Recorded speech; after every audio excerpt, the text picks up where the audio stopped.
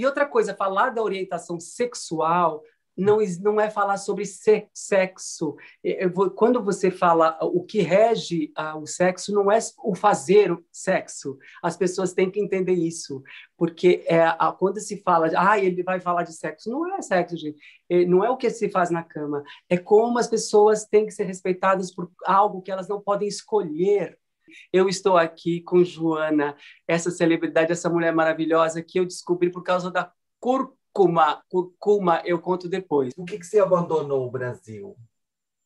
Então, Joana, eu não abandonei na eh, Brasil. Não, vamos falar da minha história com a Europa. Em 1994, eu fiz a minha primeira turnê uh, pela Europa. É, e aí, a primeira cidade que eu cantei foi uh, Munique, na Alemanha, e já me apaixonei pela cidade. E minha carreira cresceu demais aqui na Alemanha, porque eu comecei a cantar para alemão.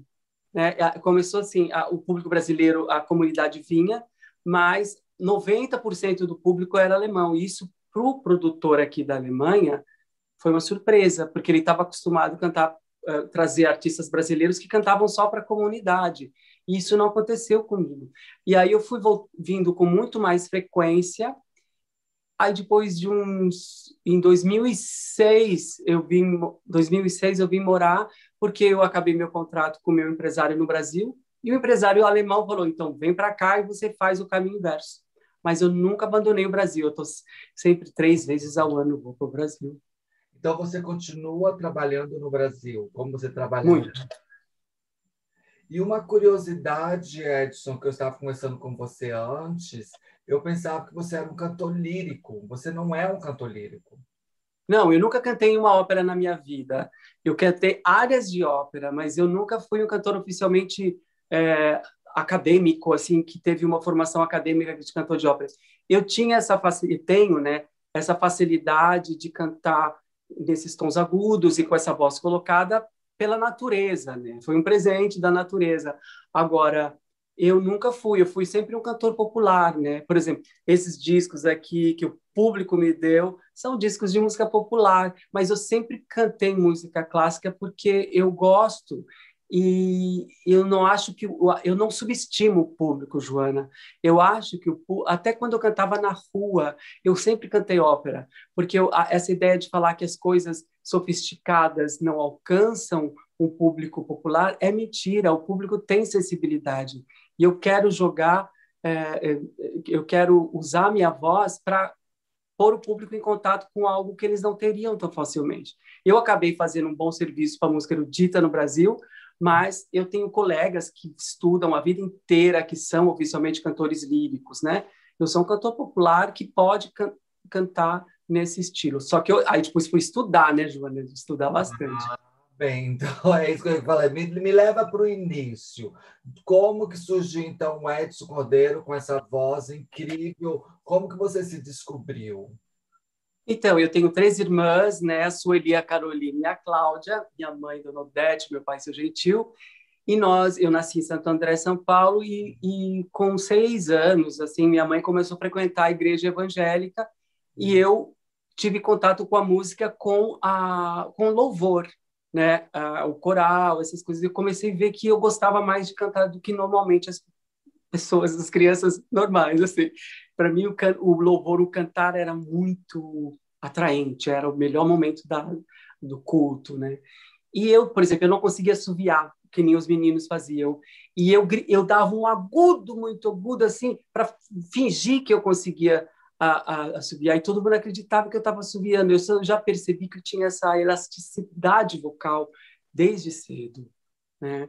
Aí eu fui uh, adolescente, aí fui, uh, comecei a fazer teatro infantil. Eu fui o Chico Bento da turma da Mônica. Olha, você fez o teste lá com o Maurício, Maurício de Foi. Souza. Eu trabalhei na companhia de teatro do Maurício de Souza. Foi meu primeiro trabalho, só que aí usava máscara, né? Uhum, sim, sim. Aí eu nunca, não cantava, mas foi a minha oportunidade de viajar pelo Brasil. Eu nunca tinha viajado de avião na minha vida. Eu tinha 15, 16 anos e, e, e comecei a ter contato com artistas, com bailarinos, com aquela coisa toda. E aí Foi isso, mas sempre cantando. Aí, como eu não tinha ninguém me convidava para cantar, eu fui cantar na rua, na rua Barão de Tapetininga, no centro de São Paulo. Na época do MASP? Ou foi depois do MASP? Não, eu, não, eu cantava mais na rua Barão de Tapetininha, no MASP, às vezes no Vão Livre do MASP também. Não, do MASP, não, do Mapping, eu confundi Mapping. Ah, sim, mas can, cantei em, perto do Mapping, na rua Barão, que é a rua do Mapping, exatamente. Mapping, né, em frente ao Teatro Municipal, que tinha o um Mapping. Exato, é. E aí, mas aí comecei a fazer testes para musicais, eu fiz vários musicais, é, fiz Hair, fiz uma ópera rock, aí fui fazer um musical com um grupo muito importante brasileiro chamado Grupo Ornitorrinco, que é o do Cacá Rosset, e fiz uma peça do Molière, do autor francês uh, Le Malade Imaginaire, o Doente Imaginário, onde eu cantava, eu dançava. E esse grupo era tinha, é um grupo muito importante e a gente viajou para os Estados Unidos, para o México, para Costa Rica, para a Espanha, fazendo esse espetáculo. Mas aí fui apresentado ao meu empresário. Uma amiga me apresentou a um jornalista que gostaria de ser empresário e ele trabalhava na revista Playboy, contratando as capas da Playboy. O Jackson Bezerra. E ele, mas ele queria e ele viajava com essas meninas da, das capas pelo Brasil fazendo eventos. Então ele tinha essa experiência do do evento. E, mas ele falava, mas eu queria cantar, trabalhar com um cantor. Manda uma fita aí para mim, uma fita cassete, para eu ver se a, gente, se, se a gente poderia trabalhar juntos. Mandei uma fita cassete, ele quis me conhecer e a partir de 1990 eu comecei a trabalhar com esse empresário que me que, que me colocou no Jô Soares e aí foram eu comecei a lotar os teatros sem ter disco gravado e as gravadoras viram. E em 92 eu gravei meu primeiro disco e qual foi a primeira música do seu primeiro disco? A primeira música, a música mais conhecida foi porque foi uma música que eu cantei com a Cássia Eller. É, eu cantei A Rainha da Noite, essa, essa área da flauta mágica do Mozart. Uhum. E, e aí ficou muito famoso porque também eles usaram a minha voz para fazer o comercial de um carro.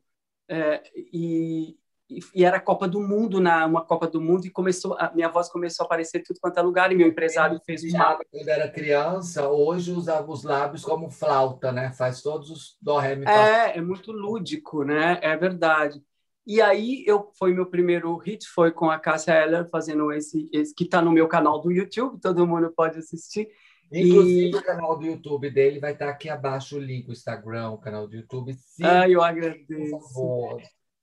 Aí eu, eu aí assinei com a Sony Music um contrato e aí não parou mais. Aí a carreira com uma gravadora junto uh, impulsionou e eu fiz vários discos, viajei o mundo inteiro. Aí foi bom. E por que, que você acha que o Clodovil e a Hebe se apaixonaram tanto por você? Porque, ah, porque eles têm bom gosto lá. Ah. Olha, olha, você viu? Porque eles têm bom gosto. Tô brincando. É, também. Eu acho assim que eles sentem essa história também. A, a Hebe foi a segunda entrevista que eu dei na minha vida, foi na Hebe. A primeira foi o Jô, a segunda foi a Hebe. Né? E são pessoas assim que antes de eu ter gravadora, eles abriram as portas dos programas deles, né? São pessoas que viram em mim a possibilidade de colocar uma nova sonoridade na música brasileira naquele momento, né? E eu cantava o tipo de música que eles gostavam de ouvir. Eu acho que foi isso, né? E daí que vai a coisa mais interessante que eu sempre que eu sempre apreciei, eu gostei muito de você, que você, eu não sei se são as pessoas que trabalhavam com você ou é você mesmo, você levou tudo isso que era tratado, principalmente nessa época dos anos 90 até hoje, muita coisa mudou porque o clássico só era para elite, só era para o povo que tinha endinheirado. E de repente você apareceu em programas populares como o do Faustão, entendeu? É, fazendo tudo o que você podia fazer de melhor com a sua voz. E, e de repente recebendo aplauso do grande público, de um público que na época, Edson, eu não sei se você, se você sabe disso, é, as pessoas, tinha, mesmo sem conhecer, falavam: eu não gosto de ópera, eu não gosto desse tipo sem de ouvir. eu não gosto dessa música, mas não conhecia. Aí, de repente, você entra na casa das pessoas, em todos os lares, lares ricos, lares pobres, com essa voz, com esse homem, com esse timbre de voz e agradando todo mundo. O que, que você acha? Que, que. É, eu cantei no Trio Elétrico em 94, eu cantei no Trio Elétrico com a Margarete Menezes, cantando ópera. A Daniela Mercury, há, há uns cinco anos, me convidou para cantar ópera no Trio Elétrico com ela. Quer dizer, essa história, para mim, é, é sempre assim. As pessoas não gostam de coisas que elas são privadas né? Você antes de você falar que não gosta de brócolis, você tem que comer brócolis, né, para entender se você gosta. Tudo é assim. E eu vim de uma família muito pobre, minha mãe bordadeira, meu pai mecânico de, de automóveis. Quer dizer, eu não eu não tive a, a o que se eu me conformasse com que a, a sociedade, aonde a sociedade me colocou, eu não teria tido acesso a nada, eu não estaria onde eu estou hoje. A gente não pode, Joana, se conformar e se resignar aonde a gente, aonde eles acham que a gente tem que estar. Você é prova viva disso também. A gente tem que falar, eu tenho que sonhar com o que é melhor. Né? Eu tenho que cantar a minha realidade, dizer da minha realidade, mas também cantar o sonho. A minha profissão é dar voz a sonhos, entendeu? E eu sonhei, por isso que eu estou aqui agora. Senão eu e quando eu cantava na rua, Joana, eu ouvia muito com muita frequência: "Você é muito bom, vai embora daqui".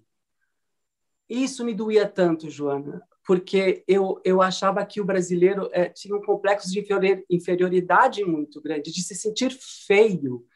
E eu provei que eu, ó, eu, o meu grande público é brasileiro. Eu, esses dois discos de ouro que eu ganhei foi no Brasil, Grammy, é tudo por discos que eu fiz no Brasil eu acho assim, essa ideia de falar, a gente é, é, é, a gente não pode ser bom porque é brasileiro, a gente tem que ser maravilhoso, a gente pode fazer tudo, Joana, a gente é um povo forte e talentoso. Eu me amo enquanto brasileiro. Eu amo meu povo e quero aqui na Europa, daqui da Europa, representar o Brasil da melhor maneira possível. Você faz. Histórias como a sua me comove muito. E a frase de hoje é: não aceita aquilo que a sociedade queira te dar. Faça é na sua vida. Porque está aí a sua prova, está aqui a minha prova. A sociedade sempre quis colocar a gente para baixo, ou em guetos, ou você não pode. Principalmente que eu venho de mãe bordadeira, costureira, como você, lavrador. Uhum. E a gente não tinha, as nossas mães não tinham condições nem de dar a, o estudo direito para gente. E nós estamos aqui fazendo a nossa diferença, né, Edson?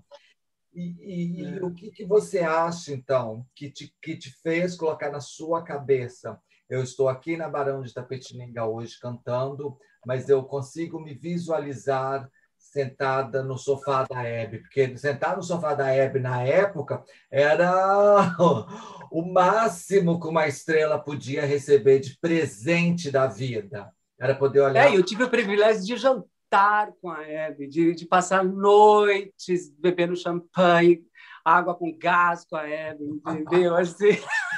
Esse me assiste. E, é, maravilhosa. E eu penso assim, é isso mesmo. Você falou uma palavra muito importante. Visualizar, Joana. A gente só materializa aquilo que a gente visualiza, aquilo que a gente sonha, vira coisa. Eu sempre tive isso intuitivamente na minha, na minha mente. Eu sentia o gosto das coisas que eu queria viver.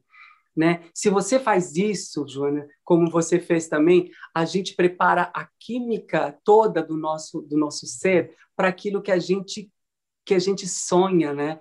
Eu continuo ainda sonhando muito e, e, e, e recomendo isso para as pessoas num país que a gente nasceu, que é que a gente tem essa conexão, minha família toda, a minha única família aqui no, na Alemanha, meu marido, o Oliver, toda a minha família está no Brasil.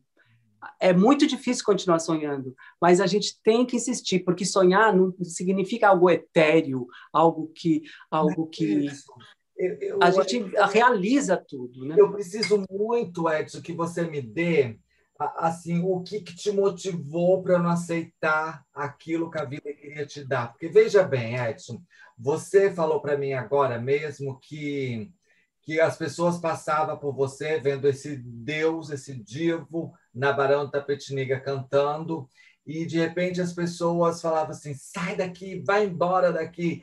E, e, e as, que as pessoas achavam que não era merecedora de ouvir um divo, um Deus como você. E o que que fez você saber eu tenho meu valor, eu tenho meu poder, eu tenho meu potencial. Eu não vou, não estou desmerecendo nenhum trabalhador de rua, não. Eu não me aceito mais cantar aqui na rua. Eu quero algo maior. O que que fez nisso? Onde é, a rua, né? É, é, a rua, claro que a rua não, não era o meu propósito, não era o lugar que eu queria, mas a rua é, foi um, um momento também de falar assim: se eu domino isso aqui, se eu domino esse esse lugar aqui, eu vou dominar qualquer outro. Porque a rua você tem um público que, que não te que não te não tá lá para você. Você caiu ali, é como, né, uh, você não foi convidado a estar na rua. Então era um público que que reagia muito espontaneamente. Ele falava, eu não ouvi, eu não foram só flores né, que me jogaram, né? não foram só dinheiro que me deram, foram também ofensas, é, eu vi também coisas ruins, mas que me prepararam. Quando eu estou uh, cantando num grande teatro e tenho algum problema técnico, sempre vem uma voz dizer: não se esquece de onde você veio. Você conseguiu dominar aquela situação extrema. Você vai conseguir dominar essa situação aqui também, né? E eu sabia que a rua era uma passagem, né? E eu eu não me considero um cantor de rua. Eu fui um cantor na rua. Nós somos artistas na rua, não somos da rua. É bem diferente.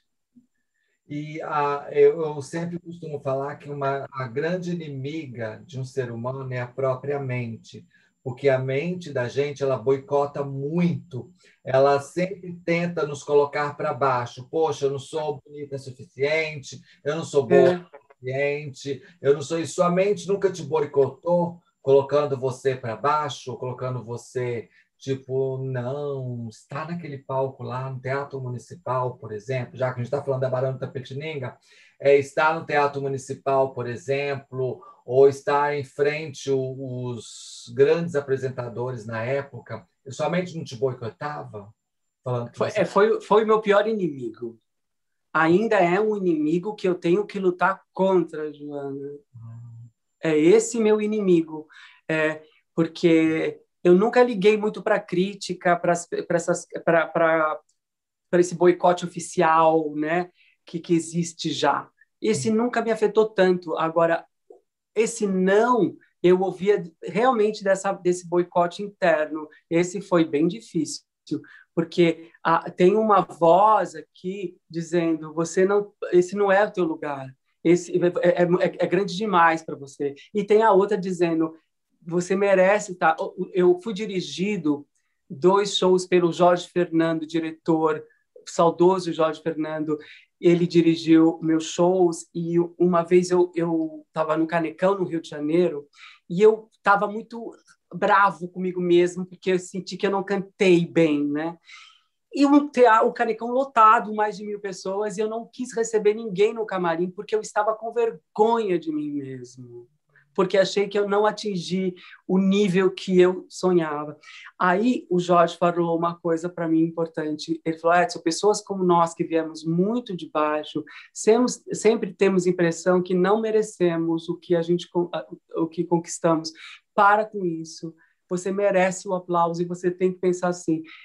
Comecei a mudar, comecei a lutar contra esse inimigo que sou eu mesmo, Joana, porque isso realmente me fazia ter atitudes como essa, né?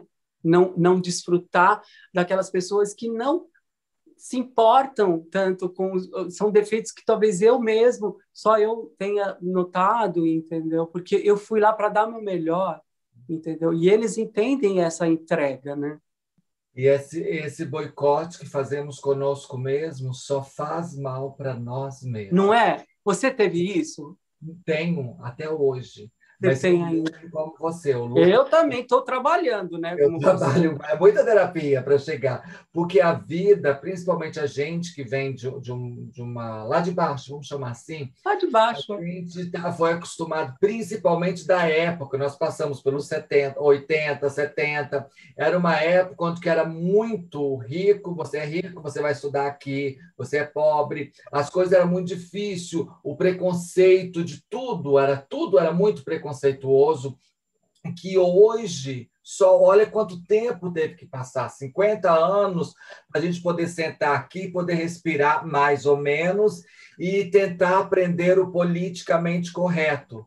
Então, quantas, quantas vezes que você sofreu lá atrás, eu também sofri com apontamentos, isso está errado, você é errada, você não pode chegar aqui, você não vai chegar aqui. Se você quiser é isso aqui, você vai ter que andar por esse gueto aqui, vai ter que viver por isso aqui. E eu disse: não, não é isso que eu quero para mim. Não, não vou entrar nesse gueto aqui, não tem nada contra quem entrou, mas não é isso que eu quero para mim. E aí a mente fala para você: não, mas olha se você não for por esse gueto aqui, você não vai conseguir lugar nenhum.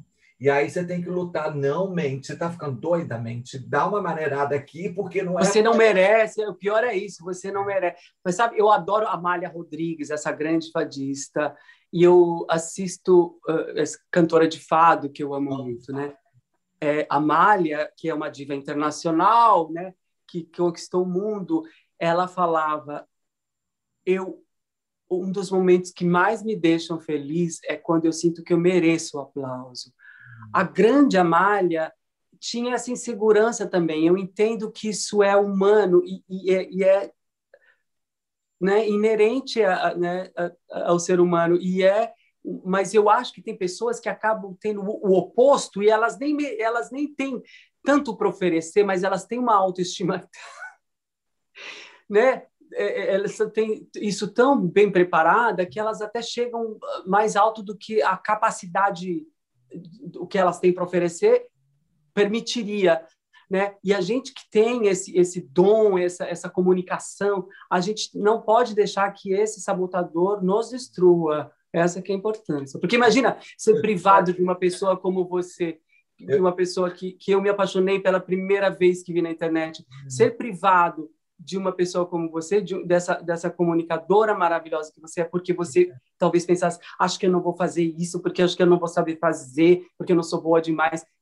Você pode imaginar o que você e o que nós teríamos perdido. Eu fico muito contente de que você que você a gente converse com isso, quem sabe a gente possa ajudar quem está aí ouvindo. Para mim falou assim, Joana, eu te assisto, e que você começou a falar para mim as coisas que você me assiste, sabe da água com gás, sabe do curcuma, Sei sabe tudo. Sabe.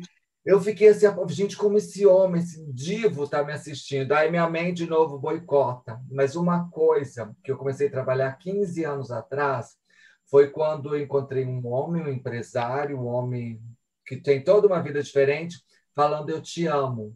Eu não consegui entender. Eu falei, eu não sou merecedora desse amor. Isso não vai dar certo, não vai dar certo. E ele, não, eu te amo, vai dar certo.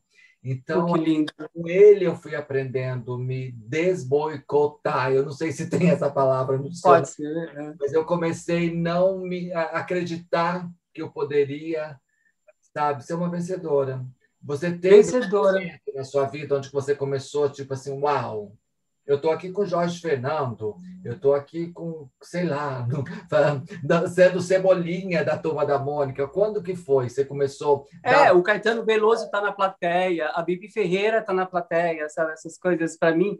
Fernanda Montenegro estava na plateia, essas coisas. Aí eu fui, eu fui tentando me acostumar com isso, de sentar com o Caetano e conversar como um colega, entendeu? E sentir também que eu tinha que quebrar isso, né?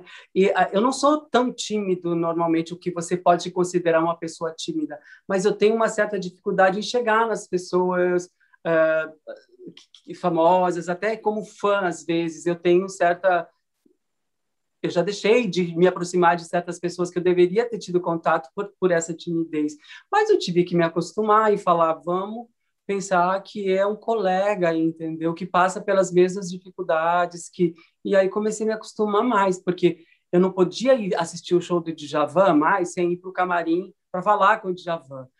Mas, Joana, eu estava tremendo de nervoso, entendeu? De falar com a Betânia, tremendo, mas se eu não fosse falar, ia ficar mal, entendeu? Falar, ah, ele veio assistir não veio falar comigo, né?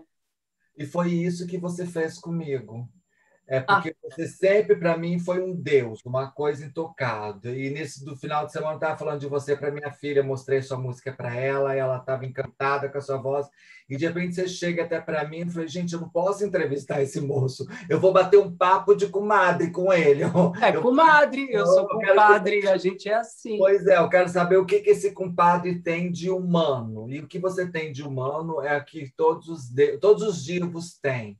É, uma... é, eu acho assim, eu acho interessante porque com a internet e com a, até eu um pouquinho antes da pandemia até eu comecei a me aproximar mais das pessoas da internet e senti que elas gostavam muito de, de, da gente tirar o glamour, né, e mostrar a vida como é, o, o, fazer o bolo, mostrar a minha vida. Eu senti que foi bom também. Muita gente escrevia: "Nossa, como é bom ver o Edson Cordeiro humano, lá, lá, lá".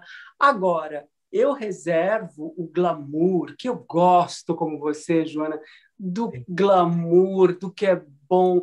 E no palco, quando eu estou no palco, eu tenho uma hora e meia, mais ou menos, para viver a fantasia e para ser a diva, o divo que as pessoas querem, entendeu? Para ser no palco o que elas gostariam de ser na vida, entendeu? Então a gente vende esse sonho e lá no meu palco, aí meu amor, aí é brilho. Amei essas joias. Eu essas joias. Eu estou de olho nelas. Mas e qual o maior defeito que você tem? Que eu estou com medo de tomar muito seu... Muitos. A gente teria que fazer Netflix, como você diz aqui, um, um seriado.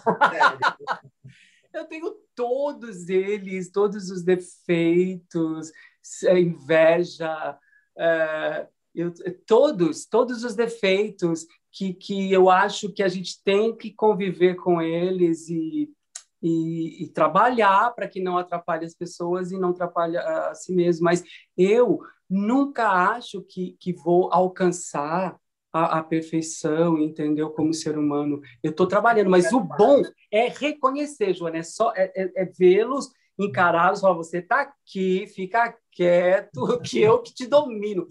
Por exemplo, te contar uma coisa bem pessoal. Eu, uh, meu pai era alcoólatra e eu, de repente, me vi alcoólatra também. E o alcoolismo abriu para as drogas, entendeu? Por um tempo. Drogas até como uh, drogas lícitas, né, uh, lícitas como o álcool, como o cigarro, quero dizer, como e também as outras, né, mais pesadas. E eu uh, por amor à minha mãe, a Dorodete, pensei, porque eu, não, eu tinha já perdido o amor a, a mim mesma, eu já estava, já não, já tinha perdido esse senso de preservação, sabe? Eu já estava realmente bem ruim. E aí, pelo amor à minha dona Odete, a minha mãe, eu falei, eu não vou fazer a minha mãe ver essa história se repetir em mim. E eu não vou repetir uma história que não deu certo com meu pai. E eu, de uma hora, de um dia para o outro, mudei a minha vida, dominei esse esse esse animal selvagem que estava me levando para a destruição e carrego o mérito de dizer eu me salvei com as minhas próprias forças, com amor, com o amor que tenho pela minha família, pela minha mãe e que por e salvei o amor próprio também, né? E, e o, o período mais pesado que foi de você nas drogas foi quando você estava no auge da carreira do Edson Cordeiro Público? Sim, sim, é, quando eu estava em grande exposição. É, é. Você não conseguiu lidar com essa exposição? Não, olha, sinceramente, na verdade, eu sempre lidei muito bem com o sucesso e, e, e me diverti muito com ele, mas uh, até vou falar uma coisa assim, soa polêmica, mas até me diverti muito com as drogas e com álcool e com tudo também. Não foi uma coisa assim tão, ó, oh, estava na sarjeta, oh, vomitando. Não, era muito divertido, mas era uma pessoa que trabalha com a voz, não pode, não tem que fazer isso. A gente tem que se preservar, Joana. E, e não foi nada assim que eu é, falo, olha o Edson drogado. Ninguém nunca me viu dando piti fazendo. Não, eu era, eu sabia fazer discretamente. Eu procurei na, na, no Google se tinha algum barraco seu, ninguém estava fazendo, falando nada.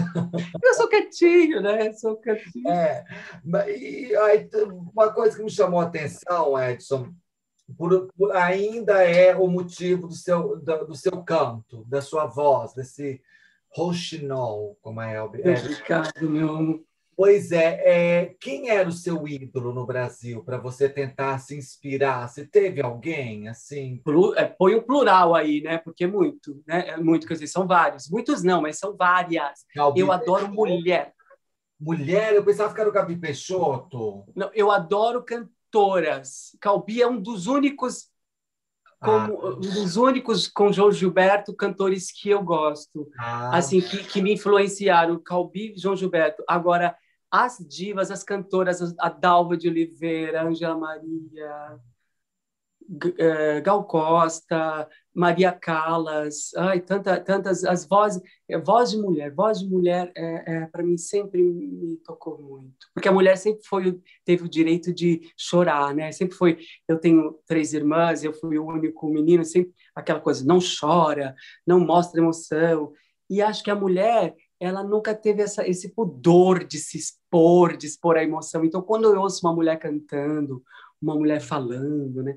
Eu, eu gosto de mulher. Eu fui criada a ser só com mulher poderosa em volta, irmãs lindas, poderosas, minha mãe guerreira.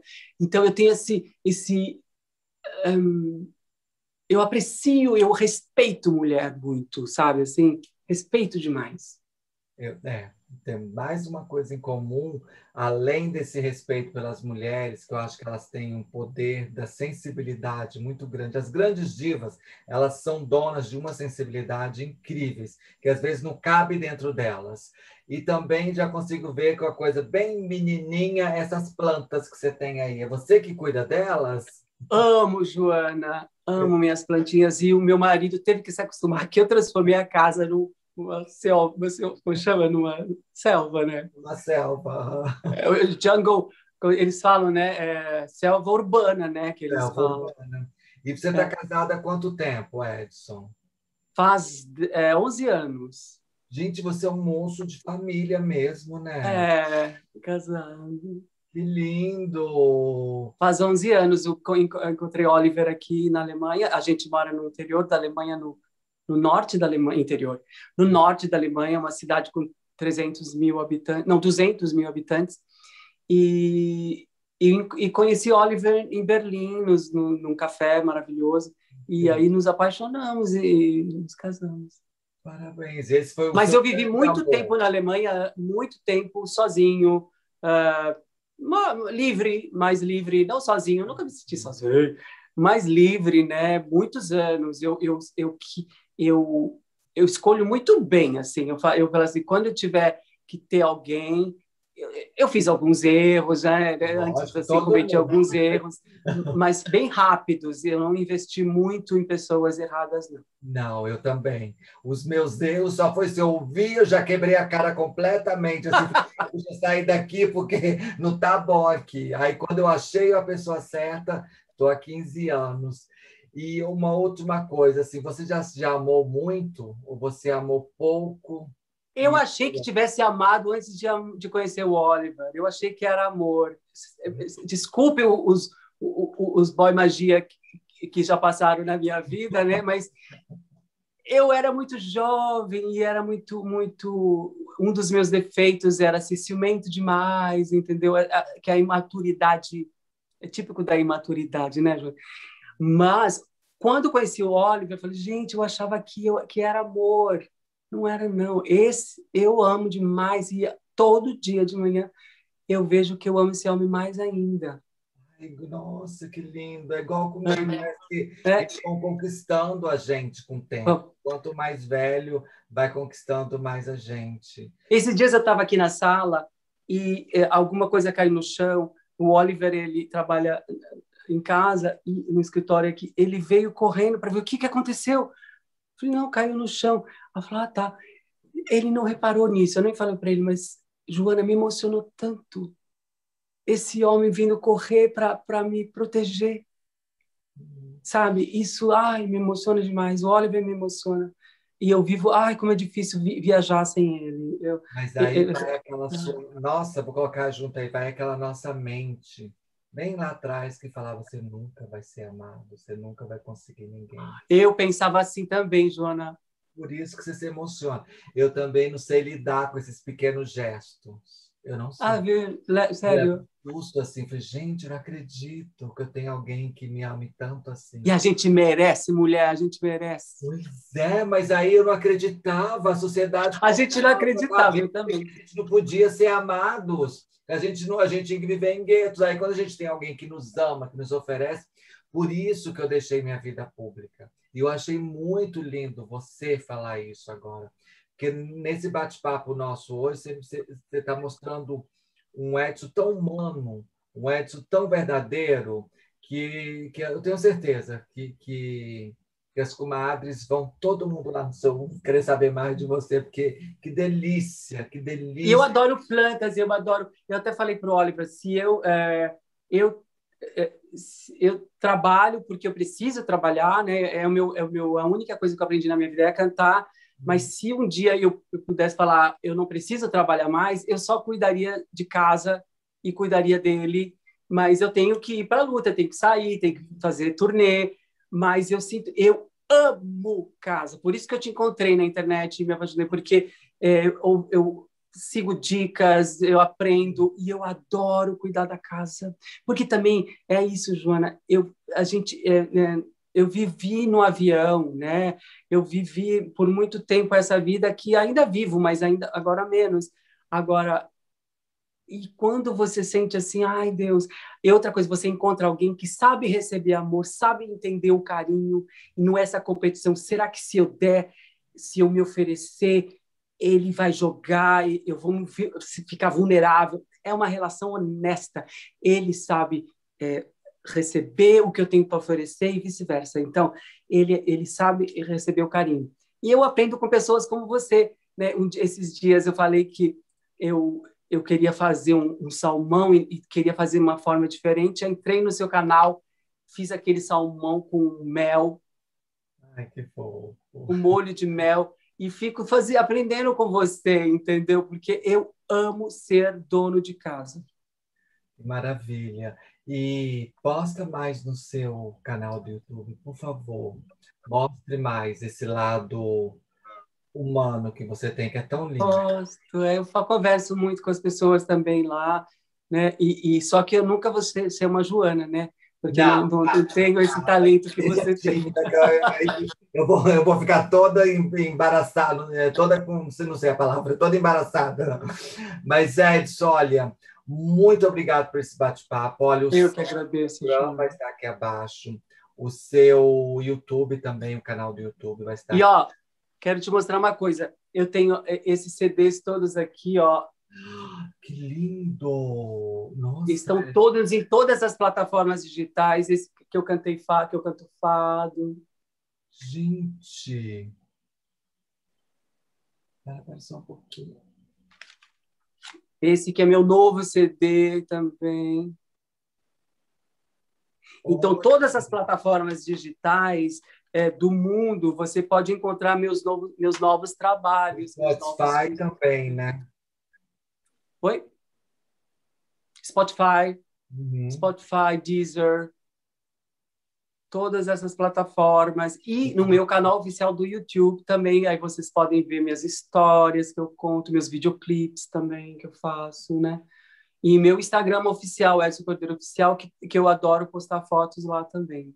Fotos e vídeos, né? É, e você é um moço muito politi politizado, você fala muito bem de política, você defende muito bem as suas causas, você acredita muito. Eu acho isso é muito bom, você se posicionar sempre, Edson. Por é isso... Porque política, a gente não fazer política não é trabalhar na no, no Planalto Central, você não tem que ir lá, né? Você não precisa ser político oficial. Fazer, até não querer se pronunciar sobre política é um ato político, né? É, é tudo a gente tem que entender que é político, né? E, e eu acho que o microfone é maravilhoso para cantar. Mas se eu tenho um microfone na minha frente, talvez eu possa mudar alguma coisa, ajudar alguém. E eu ouço muito no meu canal, Joana, pessoas dizendo: porque você falou isso, me ajudou, me encontrou a sua música, me ajudou a me assumir, entendeu? Então, eu, eu acho importante dar o meu testemunho, acho que a gente não tem pode perder essa oportunidade. Tem que estar, o seu testemunho tem que estar, tem que estar. Eu falo porque é, não é a coisa. E outra coisa, falar da orientação sexual não, não é falar sobre sexo. Quando você fala o que rege o sexo, não é o fazer o sexo. As pessoas têm que entender isso. Porque é, quando se fala, ah, ele vai falar de sexo, não é sexo, gente. Não é o que se faz na cama. É como as pessoas têm que ser respeitadas por algo que elas não podem escolher. Né? Ninguém perguntou para você quando você se descobriu heterossexual, quando você decidiu ser. Não, sorry, assim, uma coisa assim, quando você optou por ser eh, heterossexual, a gente não opta por ser homossexual, bissexual, a gente nasce assim. Então, já passou do tempo, Joana, da, da gente uh, entender que as, as, as orientação, orientações sexuais têm que ser respeitadas, todas elas, entendeu? Eu acho isso importante. E se eu tenho a oportunidade, plataformas importantes como a sua, que possam ajudar. A Hebe era uma pessoa maravilhosa. Tem uma entrevista da Hebe é, no, na TV Cultura, no Roda Viva, que ela fala muito bem sobre isso, dizendo eles não escolheram, eles nasceram assim. Dona Hebe, ela era muito avante 90, do tempo. No início dos anos 90. Você lembra? ah. Lembro, claro que eu estava lá, não, eu estava viva. E uma coisa, Edson, muito importante, depois que a gente vive um mês, dois meses fora do Brasil, que a gente consegue ver uma rua limpa, que eu consigo sair na rua com meu telefone falando na rua. Eu não estou preocupado, ah, o que vai acontecer? Ah, tem um buraco aqui que eu vou cair. A gente consegue sentir segurança, a gente entra numa escola, a gente vê uma escola preparada, a gente entra, a gente vê tudo funcionando, a gente olha para um Brasil desse tamanho assim, a gente fala, nossa, por que, que eu não tenho isso lá na minha casa? Então, quando a gente fica, nós dois aqui que moramos fora do Brasil, a gente fica aqui bravo com o nosso país, não é porque a gente está desdenhando do nosso país, é porque a gente viu que é possível ter uma política certa, que é possível ter uma rua limpa, que é possível ter uma educação, saúde, e é possível ter o respeito pelo ser humano. E ainda mais a gente, a mais a gente por morar aqui, a gente é testemunha viva de que é possível e a gente tem que dar essa declaração, gente, é possível. Não acreditem quando eles dizem que não é possível, porque é mentira, sabe? Porque a e, e, essa história, eu, eu, não, eu também eu voto no Brasil para presidente e faço questão de, de declarar quando eu vejo que está indo para o buraco, entendeu? Eu não quero ver a minha, a minha pátria, o meu Brasil assim. E é porque o que eu mais ouço é assim, pessoas dizendo: você mora aí, você não pode falar, posso sim, Também. pago imposto, eu tenho pago imposto, tenho família, tenho meus fãs, tenho. Eu tenho todo o direito de falar, nós temos, eu não é, Júlio?